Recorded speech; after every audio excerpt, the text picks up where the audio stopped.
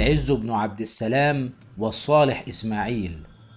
بعدما تولى الصالح إسماعيل الأيوبي حكم دمشق وهو أخو الصالح أيوب الذي كان حاكما لمصر تحالف الصالح إسماعيل مع الصليبيين في عام 1239 ميلادية لمحاربة أخيه نجم الدين أيوب في مصر.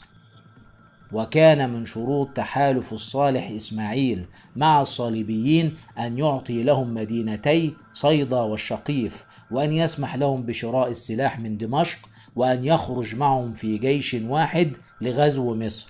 فثار العالم الجليل العز بن عبد السلام وكان آنذاك إمام المسجد الأموي ومفتي دمشق. وخطب على المنابر ينكر ذلك بشدة على الصالح إسماعيل.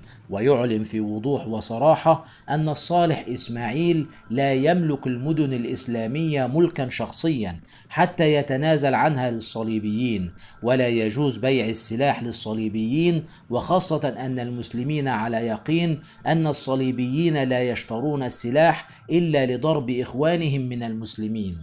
ونتيجة لذلك قام الصالح إسماعيل بعزل سلطان العلماء العز بن عبد السلام من منصبه في القضاء وقام بمنعه من الخطابة وأمر باعتقاله وحبسه.